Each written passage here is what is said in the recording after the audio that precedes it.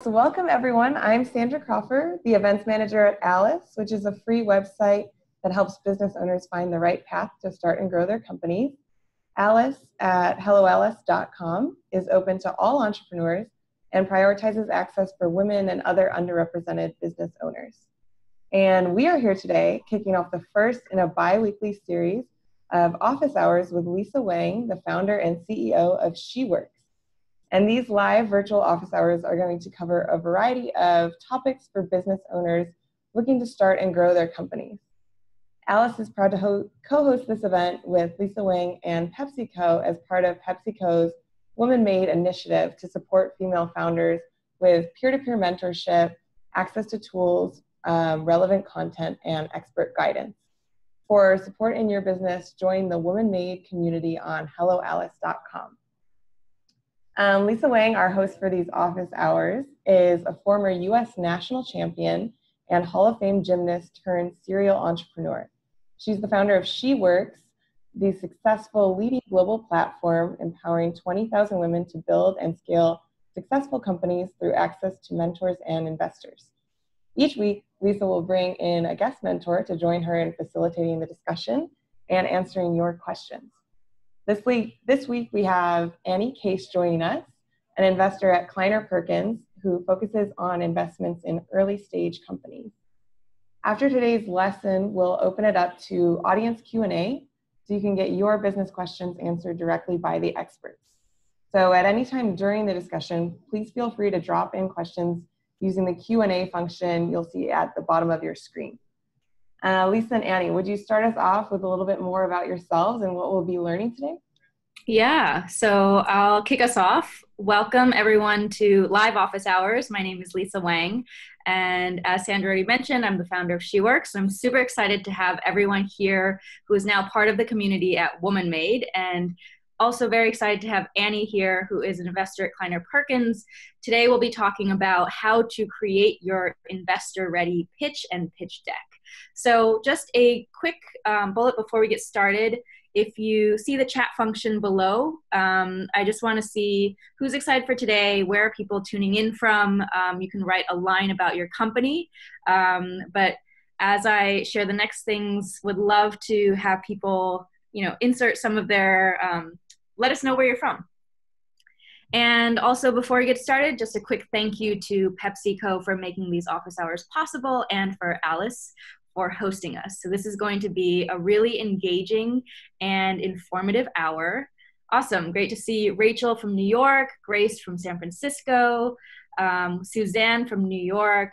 Um, we've got bamboo toothbrushes and private packs. Becky from Houston. Uh, great to see representation from so many cities. And um, as you hear interesting quotes or valuable nuggets, of information um, from myself and from Annie, I highly encourage you to write it down. And for those of you who want to get even more engaged with the office hours, we are actually doing a challenge today. And I know all entrepreneurs love challenges. Um, Annie has graciously offered to give out one on one 15 minute sprint meetings to three lucky winners who can get her personal feedback on your deck or your fundraise. So if you want to partake in the challenge, it's just a few simple steps. Just head over to Instagram, um, follow PepsiCo, Lisa Wang Wins, and Hello Alice. So those three handles.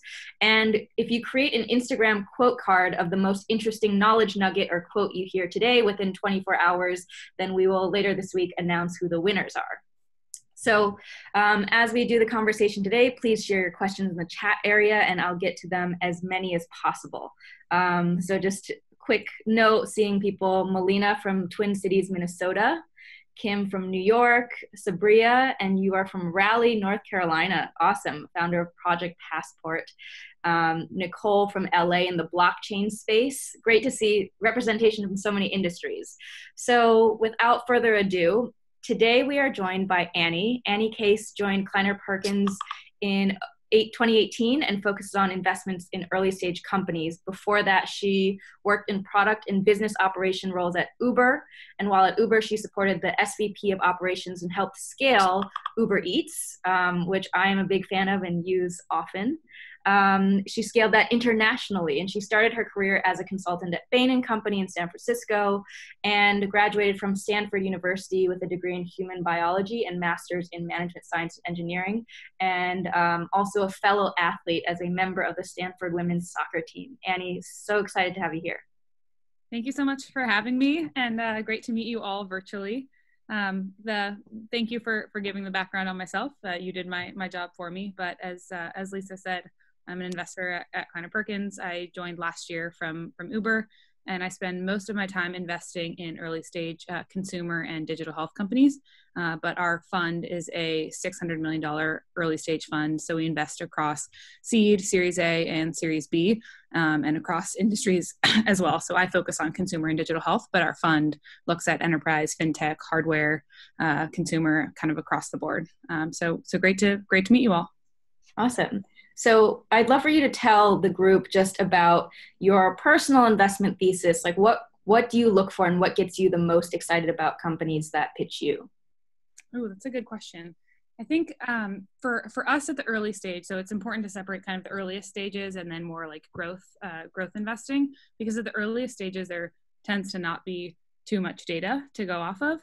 Um, so for me, the first thing that I look for and and get really excited about is just a founder that I connect with, um, and so that is just a founder um, that seems super passionate about the space that they're tackling, where it really makes sense why they are dedicating their their time to this endeavor, um, and they really know um, have some kind of unique insight into the market that it feels like um, they have a great shot at building something really special. So, you know, there are obviously a lot of factors, and we'll get into that as we talk more about what to what to look for in a seed deck. But um, for me, it's really the personal relationship and the you know is this someone that i want to work with for the next five or ten years because you know taking investors onto your board and uh, taking an investment is really a long-term partnership so i try to make sure that it feels like a good person and someone that i want to spend my time with yeah and could you talk more about what helps someone make that immediate personal connection with you if they only have, let's say, 30 minutes to make that impression?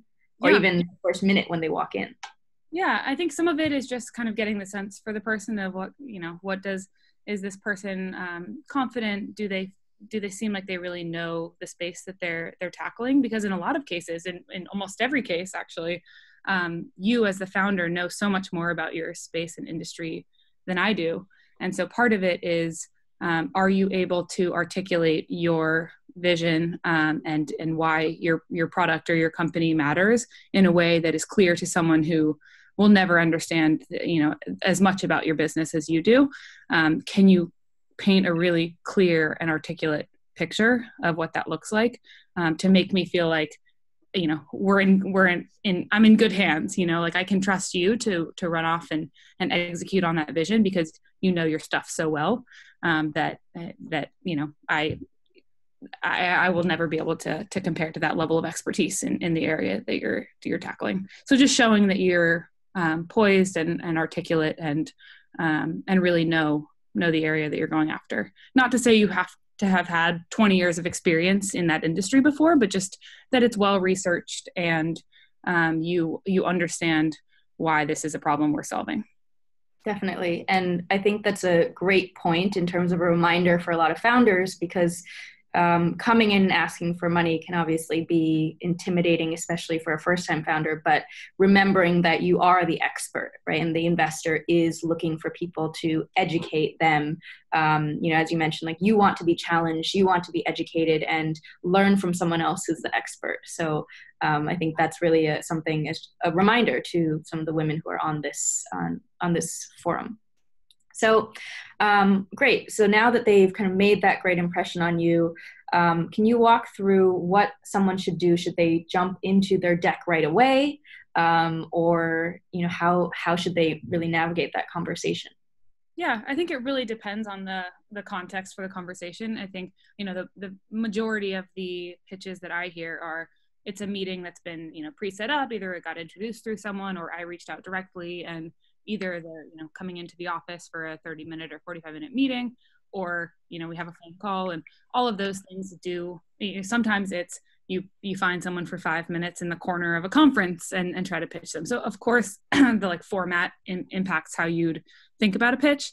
Um, but for for me, and I think one what you'll ultimately try to do when you're raising money is get in front of investors kind of one-on-one for a longer period of time. So assuming that this is more of like the you have 30 or more minutes um, how how to go about that.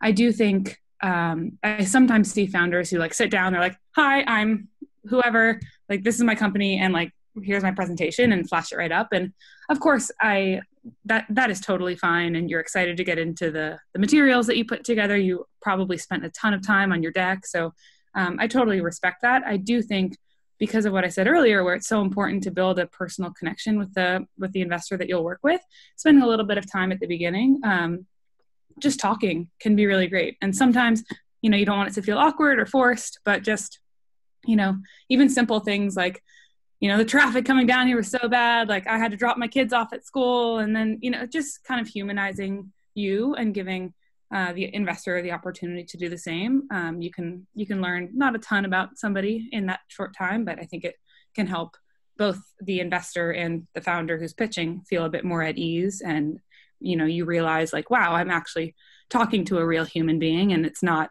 this um, awkward dynamic between an investor and a founder. So i think spending a, a little bit of time just kind of chatting can be helpful but obviously you don't if you only have 30 minutes you don't want to waste 10 minutes um, talking small talk. So a, a balance for sure but I, I, like the kind of humanizing impact of having a minute or two of, of small talk before you get into it. Great. And so let's dive into the pitch deck itself. Um, what is it that venture investors are looking for in the pitch deck? What makes a good one and what makes a not so good one? Yeah, no, it's a, a great question. And of course, the deck will change as you progress through stages of the company as well. Like, of course, I think as you, if you looked at the average seed versus A versus B deck, like you probably would see more slides as you get later. Um, partly that is you have a lot more data to share. Um, but assuming this is for a seed deck, I always say simpler is better. Um, fewer slides is better. And it's really the story that matters more than like do you have every single metric have you checked every box do you have like there's really no well we can talk through a potential template and kind of what high level bucket should be included but there's no like set checklist of things and it really is simpler is better and and stick to a story that feels authentic to you great and what about the the format itself um, you know are, is there a typical number of pages, um, what's kind of necessary information to include and not so necessary information. Yeah, for sure. I mean, I can walk through kind of when I think about pitch decks, like what I typically see in in and in, in the flow that I often see, like kind of slide by slide, if that would be helpful. Yeah, that'd be great. Um, awesome. Yeah. So uh, the the number of slides I think can change and is is really like what area makes sense for you as a founder to go deeper. If you're saying if you're doing working on a company in the healthcare space, you're probably going to have more slides or more coverage on the regulatory environment than if it is a direct to consumer product um, because it's that's just less relevant for that space. So the number of slides for each section i think um, will change a lot and you shouldn't feel like oh, i only have one slide to explain this like use whatever you need. Um, but in general the flow we see is you know obviously you start with the title page like this is our company i'm the ceo potentially these are my co-founders whoever's presenting with you. Um, and then um, what i love to see on that very next slide and people disagree on this and it depends on your company um, how important this is but i love when you just get right into the problem of like here's our company this is the problem we're trying to solve at the very high level whether that's great if you can quantify it in some way but whether that's something like you know 70% of people have this issue or um, companies or companies or the government wastes X billions of dollars per year on blah. Um, whatever it is, just a, a simple, high level problem statement, I think can be really powerful. Um, and then the ne- very next slide, I love that to be your introduction to your company of, and this is why we exist. Like this is our, it's the solution statement. This is, um, this is the way that our company will solve that problem. Like we exist to solve the problem that we just mentioned. Um, and that's where you have the opportunity to explain what your company does or will do um, and is in as few in as few words as possible like try to be very clear we know it is multifaceted you probably want to do a ton of things over time, but what is the crux of um, the problem you're trying to solve? so that should come next. Um, next, we often see tra- a traction slide. If you if you have it, of course, if you're just starting out, you may not. Um, but that would be your opportunity to say, you know, already we're solving it for these people in this way. Um, and you know, if you have revenue, great great slide to show revenue. Um, if you are not yet monetizing, that could be growth in your user base, um, or just something to say, um, you know, here's what we've accomplished so far. Is a great next slide. And this is where, if you've been around longer, you could take three or four slides and say, here's revenue, here's engagement, here's you know a, a bunch of different metrics, but kind of whatever you have. Um, and then next, we often see uh, differentiation. So how, why you're why you're different than your competitors. So that could be either competitor landscape um, or um, some some explanation of what drives the traction that you've gotten so far. Um, can can be a great one. Or what's your unique insight that uh, your competitors can't replicate. That could be your founder experience, like this is my experience, what I've done before that makes me best positioned to solve this problem, um, or or something else. Uh, but that's tends to be an important slide to see, and people will, whether you have that or not, eh, probably as a follow up, say like, what else is going on in this space? You know, who do you think of as your competitors?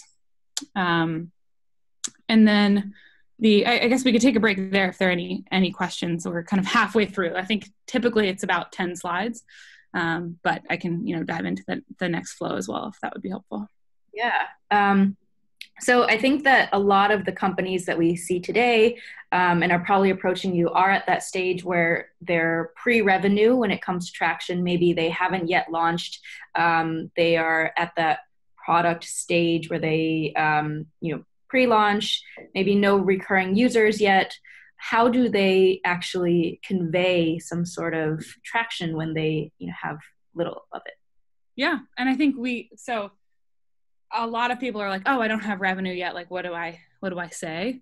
Um, I think there's a ton that you can do to be creative to show that there is demand for your product. So even like a lot of a lot of companies that are pre-product, pre-launch, you you're like, I have nothing. You know, often in later stage for for us, like Series A, Series B, part of the pitch is like, let's walk through a demo, like show us your product. And you could be saying, I haven't built it yet. Like I have no idea. Um, I can't do that. And so just anything you can do to get at um, to show people will care about this. Like if we build it, people will care because this is solving a real problem. So I've seen people do that really creatively through surveys, either through kind of there are there's academic literature on this. These other people did this longitudinal study that showed this um, to show.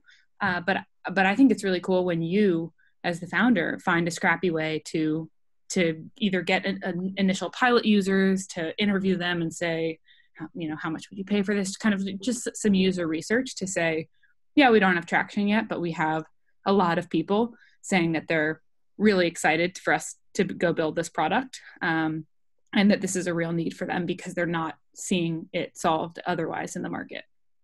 Got it. And what about unit economics? Is that important early on? It depends. Um, i think there are obviously a lot of companies you know i came from uber where um, our unit economics continue to be upside down in, in some some places. So obviously it can it can work.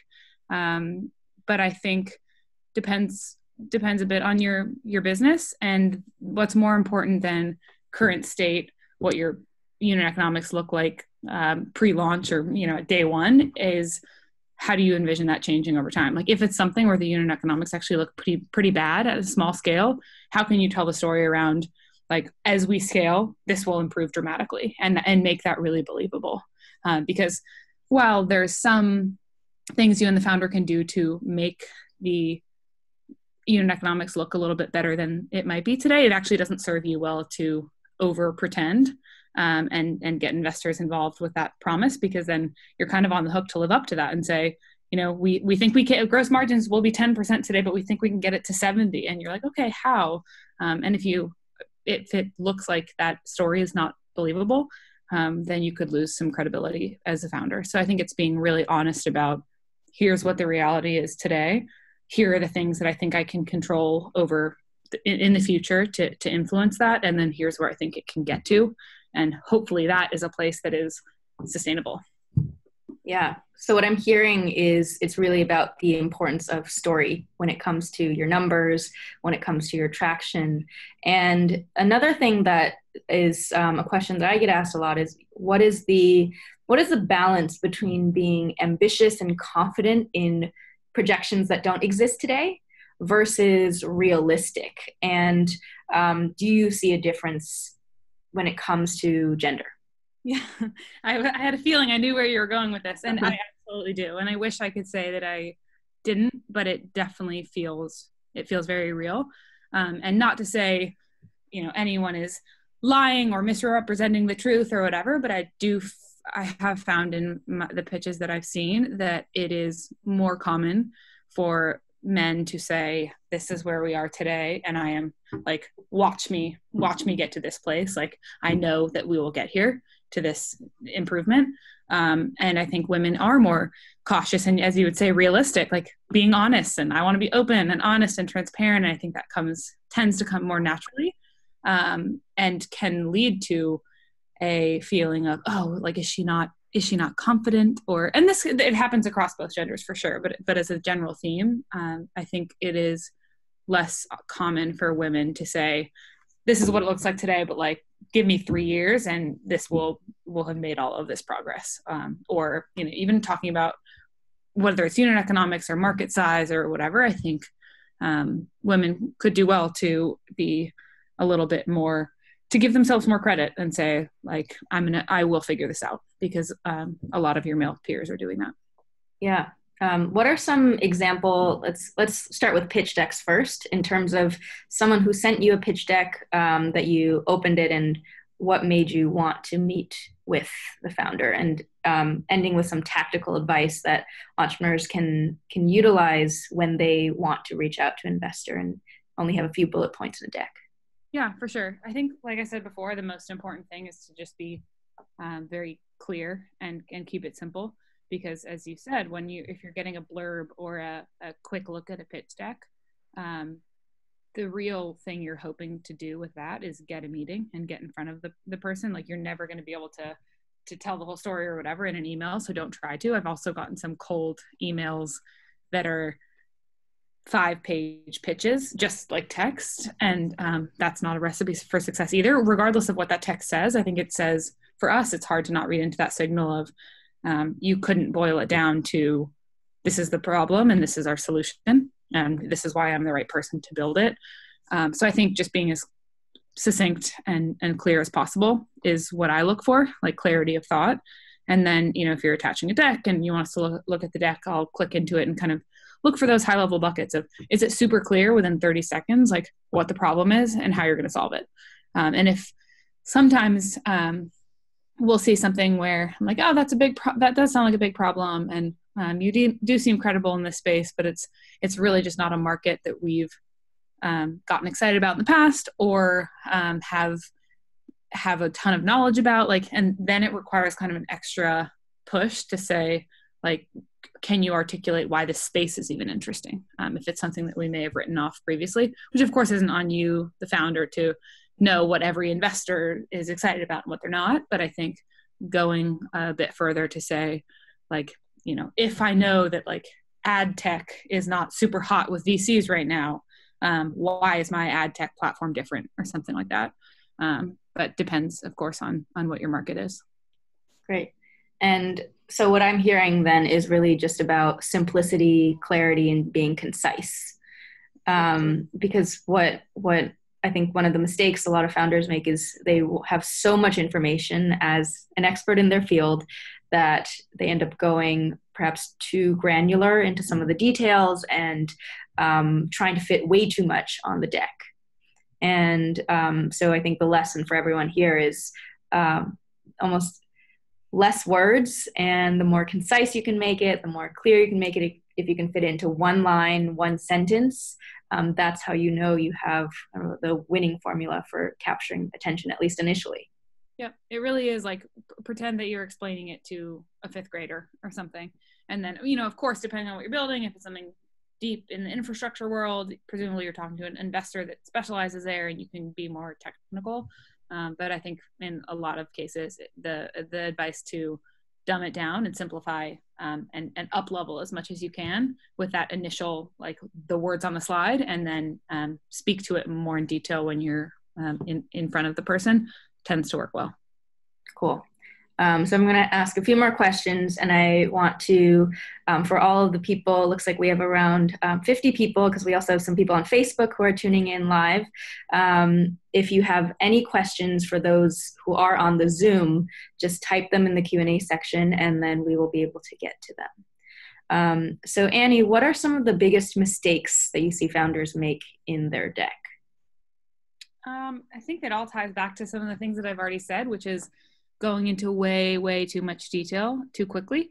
Um, or I will I'll have seed decks that I'll look at and it immediately is just here is the like AI ML application of this software and how and you're just like whoa like let's all step you know, like AI ML incredible love it. But like first tell me like what what the market is here like where what, what the problem is that you're trying to solve and then why like AI and ML is like even the right solution for that problem um, because I think a lot of particularly technical founders can get super excited about the um, technical problem that they're solving and the way that they're like the, the, actual solution and say like we our tech is incredible. And you're like okay but what is it incredible for? Um, why why why does this need to exist? Um, and so i think making sure that you're you're staying at a high enough level early on um, and and sticking with problem solution rather than look at all of the cool stuff that I can build or I've already built. Um, that that's one mistake.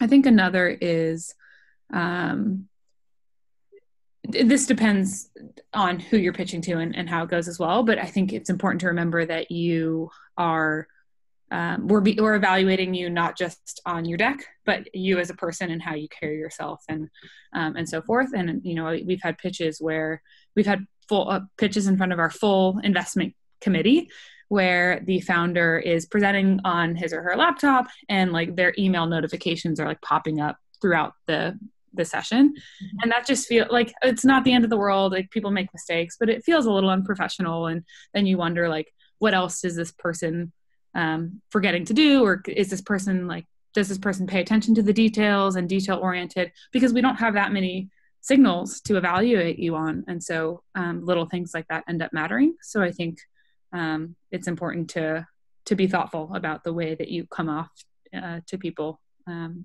even in, in subtle ways. Yeah, um, I want to reiterate that um, that everything you do is a signal, um, and little things matter, especially when you're given um, limited touch points of interaction.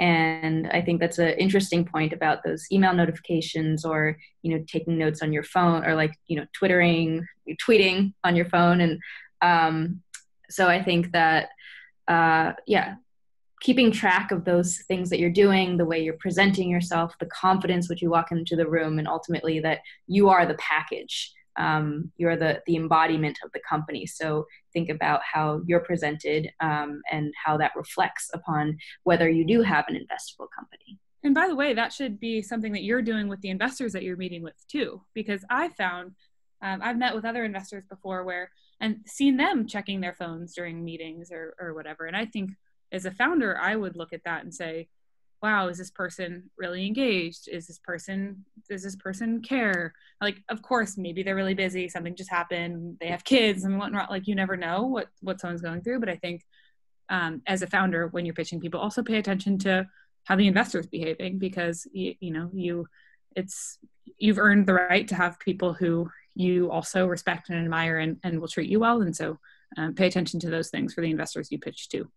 Definitely. I actually, I've, I've experienced that before and um, immediately knew it was the wrong fit. exactly. You're like, we have 30 minutes together. If you're going to spend five of them on your phone, like, let me go somewhere else. Yeah, exactly.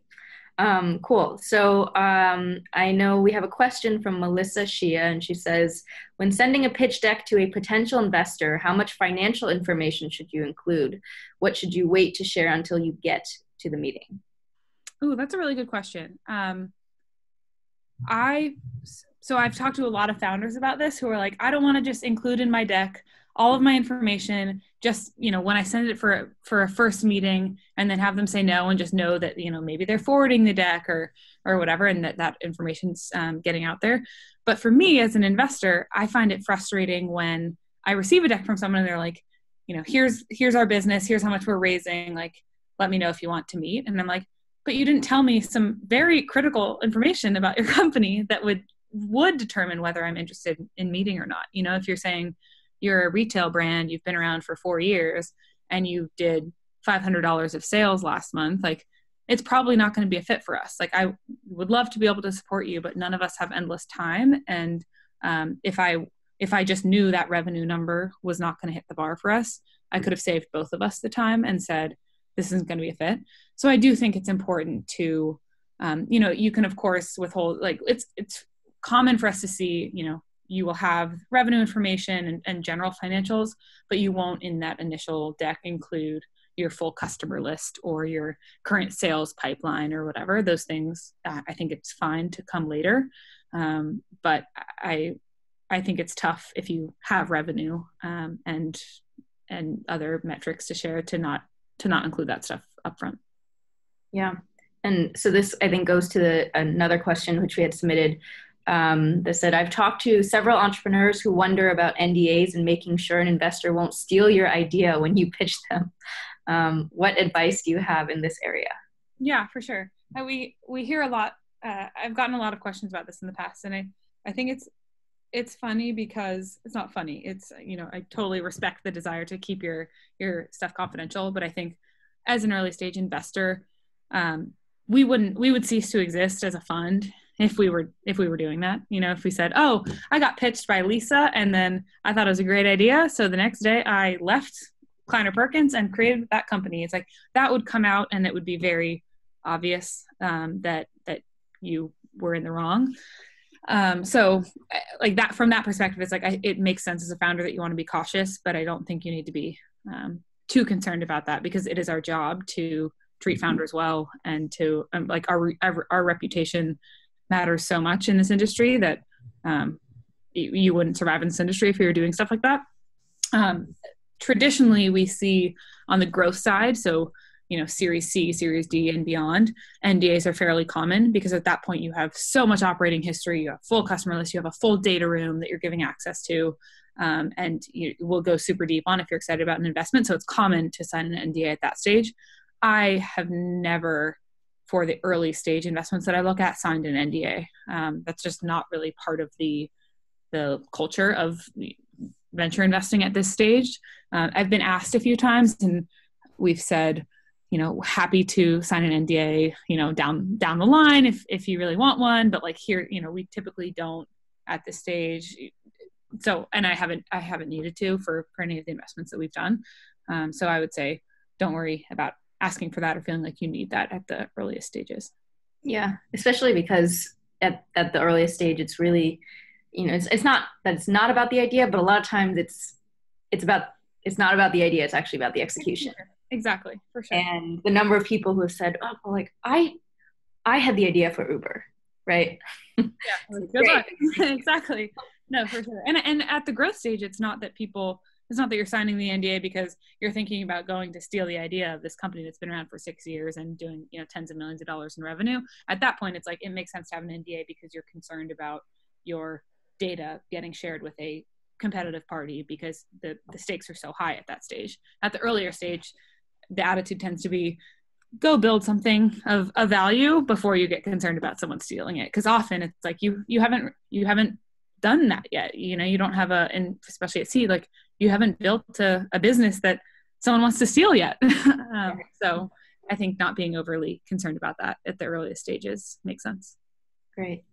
Uh, question from Becky Holmes, who said, "Could Annie finish going over the slides to include? We got to differentiation." Sorry, I didn't want to just go on for too long, but yes, I'm I'm I'm happy to um, if that if that works for you all. So, um, I was saying there typically are ten slides. I think we've gotten through through five of them. So it was title, problem statement, solution statement, traction, differentiation. That was kind of the first half. And of course, for any of those, you can have more slides if it makes sense. Um, the next one after differentiation tends to be business model. So, you know, how are you making money um, or how will you make money if you haven't quite nailed down the business model yet? A lot of seed companies, um, particularly on the like consumer social side, are are not focused on revenue at the moment. They're saying we just want to get users. And so talking about how you may monetize down the line, whether that's through advertising or upselling products or, or a premium offering, um, depends on consumer versus enterprise and, and, what have you. But a slide on how will this company make money, um, whether it's now or at some point, is super important. And then you know pricing and tiers of pricing and, and all of that is is important there if it's an enterprise company. Uh, and then the next slide tends to be the market, um, market sizing. Uh, what is this market? Is it going to be big? Um, are you going to be able to capture a meaningful portion of it and why? Um, and that's kind of to solve the question for the investor of like, what, what do I need to believe to think that this can become a really big company? Because um, that's what we're, we're betting on. Um, and so knowing that you're tackling a large enough market that you could conceivably build a big company um, is really important. And that's one that some some pitches you'll see that like one of the first slides, if not the first slide, where they're saying like we're tackling this massive market. Um, it doesn't for all of these. It doesn't really matter exactly which one comes when, but I think hitting all these buckets is important. Um, and then after the market, we typically see a team slide.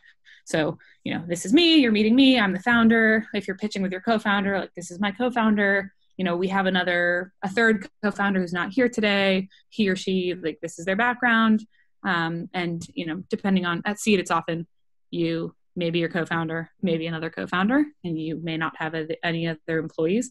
But that's where you'd have the opportunity to say, there are nine people on our team. Three of them are developers. We outsource to Croatia. Like we have a salesperson in LA, or um, and just talking about who you have on the team and why are, why they're the most kick-ass team in the world to be talking to be tackling this problem. Um, so that's you know talking about you've already talked about your own background in this space, uh, presumably, but giving um, reasons to believe in your co-founders as well, and at that stage. And then uh, next is the fundraise. So how much money you're asking for and uh, what you're hoping to do with it. So at seed, that could be we are looking to raise a million dollars to help us get this product to market, or we want to raise two and a half million dollars to invest in an engineering team and go to market. Um, and or, or you know whether you don't often need super specific milestones particularly at seed um, but to say why you think that's the right amount and um, what you're hoping to do with it is is important. Um, and that's the last kind of required slide after that. It's really like if you have a whatever for your company you think you need to dive more in you have an opportunity to do that. Whether it's you know you have a really complex product that you've already built so you want to do like a demo or a couple screenshots or, or whatever um, there feel free to, to add in whatever you want but that tends to be the kind of main nine or so things to include. Great. And uh, following up on that sabria dobbins wanted to know on the fundraise slide um, when you say you do need x amount um, let's say X amount for marketing costs, do you have to break that down into very granular parts or is it just high level what you're going to do with it and what you're going to achieve? High level tends to be totally fine. I mean, I think you should be prepared for a question like, um, I think the questions you'd get would be less like, oh, you said you need 400K for marketing and like, let's, let's like talk about exactly what the plan is for the next six months of how you're going to spend that. I think the question would be more like, oh, you say you need $2 million and that's for marketing and sales you haven't talked at all about like this is a technical product and you haven't talked at all about hiring a technical team like how what's your plan on that front? So it'd be more like if something doesn't really make sense of sounds like you're going to need some engineers but you didn't really talk about that. Um, so just showing that you've thought about it um, and have a, a decent sense uh, tends to be sufficient versus you know detailed financial model when let's be honest like you don't exactly know where each dollar will go yet. Yeah definitely um, Larry Simmons wanted to know Can you mention large companies in a pitch deck that have given a verbal commitment to partner with you, but perhaps haven't signed anything? Yeah, I think that's up to you totally. I mean, one is up to the with with the company. You may want to ask per, for permission to say, um, "Do you mind if I mention you in, in my deck?" Like eh, that's not required, uh, but I think it would be good a good practice. The only I, think in general that can be helpful to say, you know, we've signed three contracts, we have five that are uh, pending or verbal verbal commitments or what have you. I think the upside of that is you're saying like we have a really big customer that's excited about us. the downside of that is if it's not signed yet, there's a chance that it'll fall through. And going to your investors on and having them be excited and going to you know their team saying, "I think we should invest in that company." They already have these big companies like X, Y, and Z excited about them, um, and then a week later you say, "Actually, that fell through." Um, that could actually do more harm than good because then the question is, why did they churn or why did they not end up following through? Like what what happened? Um, so I would say if you think you're confident that that it's going to happen and it's just a matter of you know haven't gotten through the final legal process yet uh, feel free to mention it um, and you do want to share that you've had interest from those types of folks but uh, don't overpromise because that could come back to bite you great um, and let's see we have another question from anonymous attendee if a founder has more granular slides in an appendix that they could attach in an email sending along their main deck. Do you like to see them attached with the main deck in that first email exchange or prefer that they come later in the process? I think whatever whatever works for you is fine there. I think you could start by saying, you know, here's my it depends if you've met with them before too and but you could say here, you know, here's my deck like very clear. Um, let me know if you want to talk more and then they could follow up and say yeah this looks interesting like send me more information that you have because then you can it's almost getting an early signal on how interested they are um, but if it's something where like i've also gotten it saying you know for healthcare companies because they tend to be more complicated it's here's our deck like our story like typical what you'd see across industries and then you know here is more detail on the FDA approval process or we're almost through or, or whatever it is. Um, so that's totally up to your discretion. I don't think you would like we would have made this investment if only you'd sent your appendix sooner. Um, but it's but it's up to you. Great. Um, so we have a few questions in terms of outreach and finding investors. Christine Tang wanted to know, does cold reach out actually work? Can you talk about the balance between trying to get warm intros or what to do if you don't have any of those leads? Yeah, no, it's a super interesting one because a lot of really great investors disagree deeply on this. I think there are some funds that will put on their website like don't bother reaching out to us if it's a cold if it's cold inbound like we're not going to respond like part of it is like it's like find your way to us to prove that you're going to be successful i think that's ridiculous um, and that good ideas come from all over and you shouldn't need to have gone to stanford or harvard or or know somebody who's you know a big deal in silicon valley to be able to have a conversation. Um, so i personally am more, more open to to cold inbound that said i mentioned earlier you know the example of a cold email that was a million pages long and that didn't end, end well for that founder but i think if you are thoughtful about it and um, that like if you're going to reach out out to someone cold, it's on you to um, find other reasons to connect. So that could be I've gotten reached out to on on LinkedIn saying, you know, we haven't met. I don't know anyone that that knows you, but I saw that you made this investment in this company.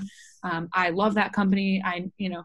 I, like we're doing that kind of thing, but in this different industry, I think it's something you'd really like. Do you have 10 minutes to chat? Or, you know, can I send you my deck? And then I'll, you know, respond saying like, yeah, sure. Here's my email. Like would love to look at your deck. So I think it depends. I don't think you should say cold inbound will never work. Um, of course, it tends to be better if you can get an intro, but um, but I, I I I'd encourage it and say you know be scrappy and try to get the relationships you think you need to be successful. Awesome. Um, so Bria Dobbins wanted to know about accelerators and pitch competitions, and um, are they the best way to start to find investors? What are your thoughts on different accelerators?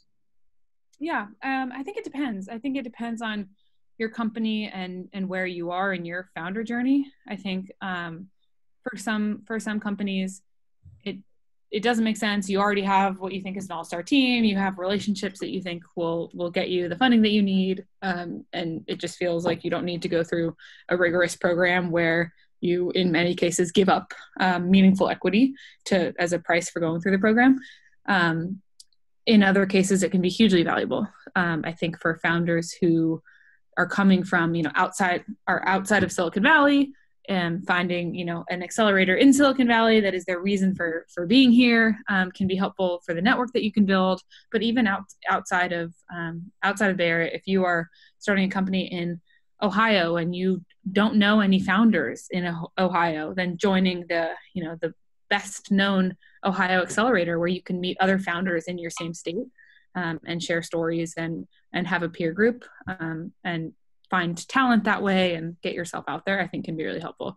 Um, so I think it's helpful as from a networking perspective, from kind of getting the word out about your company. Um, but just be cautious about um, if it's a if it's an accelerator you think you know if the partners are really involved will they be helpful and then does it feel like a financial deal that you're comfortable with because i've met people who felt like they didn't realize what they were signing up for. Oh like 6% of my company didn't feel like a big deal until i started building a big company. And then you know that was min- millions of dollars that this accelerator got um, for you know eight weeks of, of help. So depends on your your individual case but i think they can be really helpful uh, for networking and, and practicing your pitch and, and all that. Yeah great. Um, and the question that i'm seeing right now in terms of uh, so Alexandra Fennel says it seems increasingly difficult to find funds that really will write that first pre-launch check in the consumer space. Can you speak to this a bit and maybe offer some advice around this dynamic? Interesting. Yeah. So I spend less of my time on the super earliest stages, the kind of angel like first check-in. I typically will see companies that have either raised a friend and family round or you know raised a few million dollars um, and, and want to raise an A or uh, have raised like 500k and are now doing a bigger seed.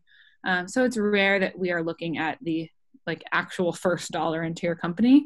So I can't speak to that in too much detail, but I um, I do think it can be hard in consumer because you know so many companies fail, and there's uh, especially with consumer products, it can be hard to differentiate. So um, I think you know that's where it gets to being super super clear about why your product and your company is different.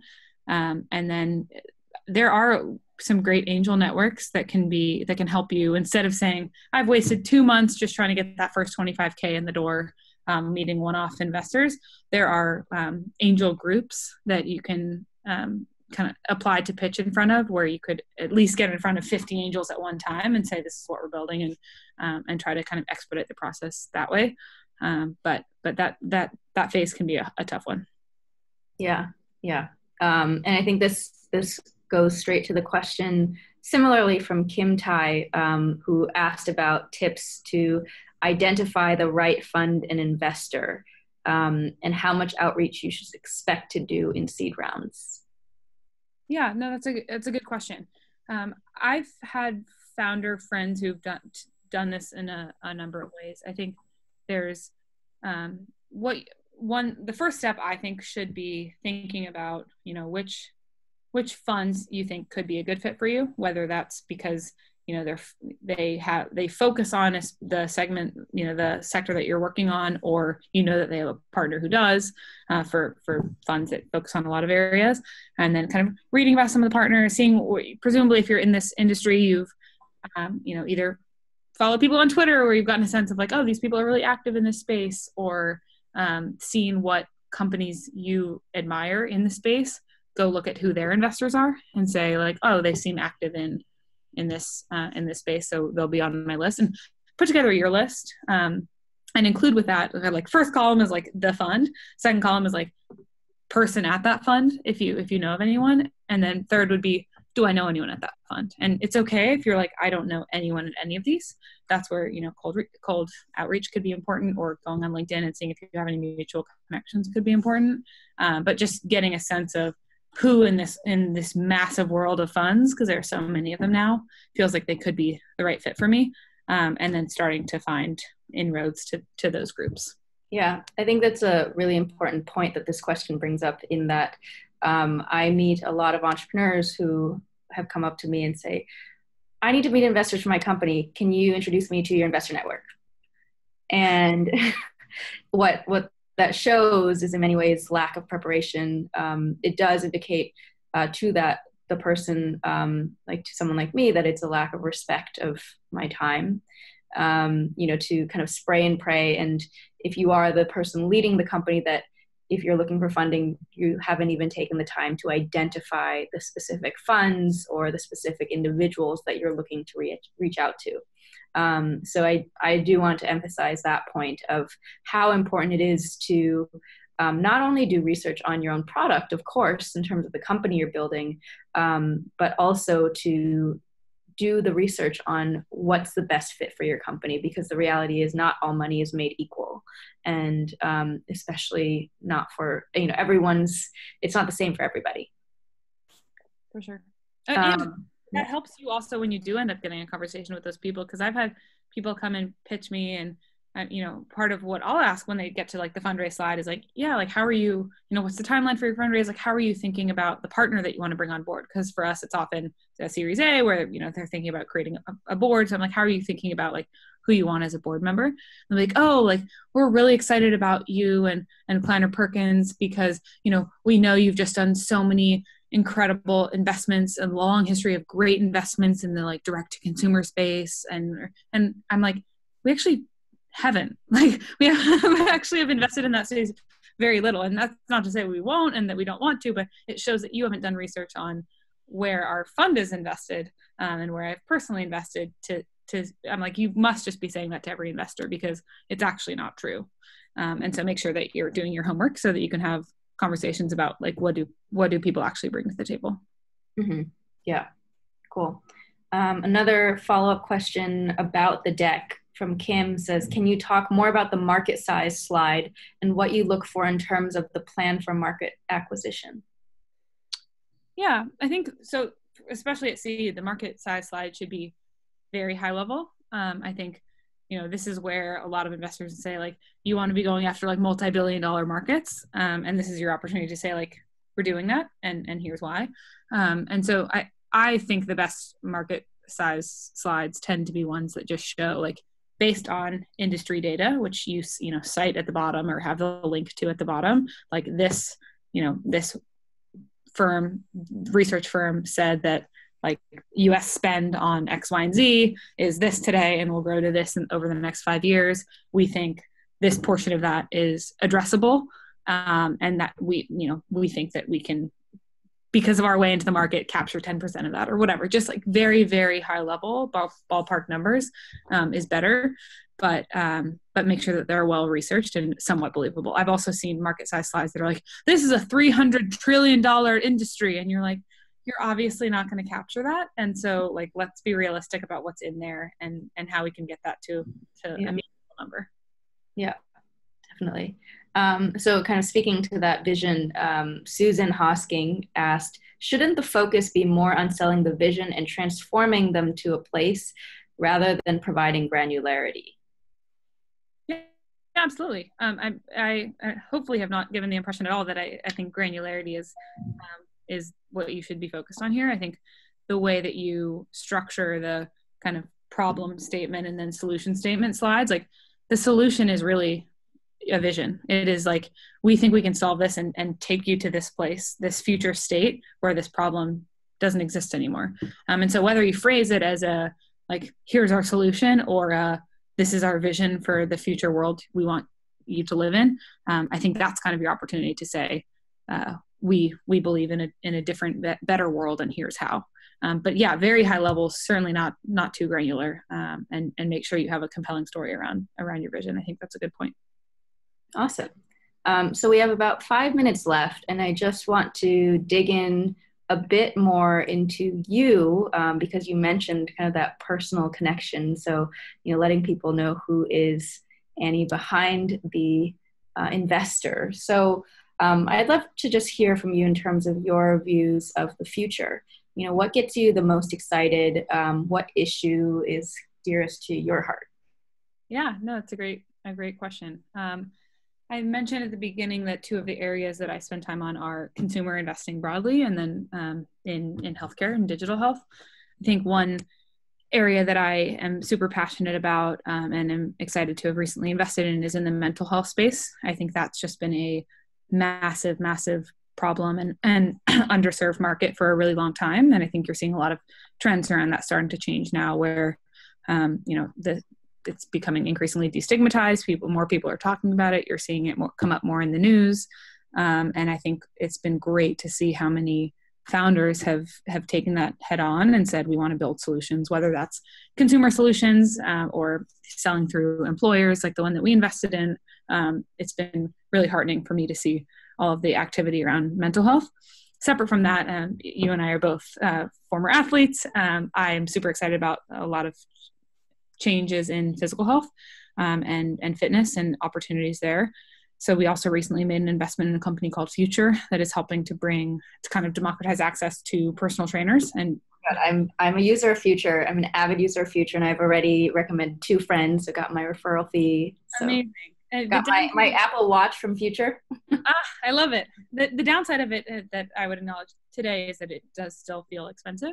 Um, yeah. It's very cheap compared to a personal trainer but it is still a higher end product. Um, and so that's something that I think is an opportunity to think about for them to think about how they can, um, you know, bring that down market more and, and make it more accessible for folks. But I think the solution that they built is really powerful um, and that it can have a lot of positive impact on people's lives.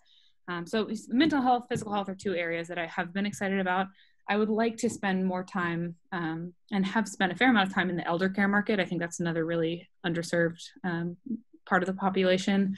Um, and and education i think is also an area that that needs a lot of help. Um, so i've spent some time in both of those markets but you know I, I do cover a lot. And so my ability to be incredibly thesis driven and say i will focus um, and meet all of the companies in one space um, has been challenging but those are some areas that i'm excited about because i think they can really move the needle for uh, for our country and hopefully the world yeah so you obviously encounter a lot of talented founders and investors and just people in general. What do you think is the difference between being good and being great?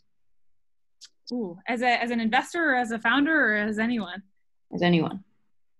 I think the most important thing is to be authentic um, and and honest with yourself about uh, what you're doing and why you're doing it. Because I think the happiest people that I that I work with and um, and are successful are people who uh, feel like they're in in whatever they're doing for the right reasons and it feels authentic to themselves and this is particularly true for founders where um, if you don't care about the the problem that you're solving um, you will fail like it is very hard to build a company and so it's super important for you to say like this is something that i deeply believe needs to exist in the world and i think that's true for investors as well i think investors who are just like i want to make a bunch of money is like you're not going to be great because you won't be able to connect with founders in the same way. Um, you won't have a, an interesting point of view on the types of things you want to invest in um, because I think it's really important to to win the right deals in the right markets. You need to deeply understand and care about the the segments that you're looking at.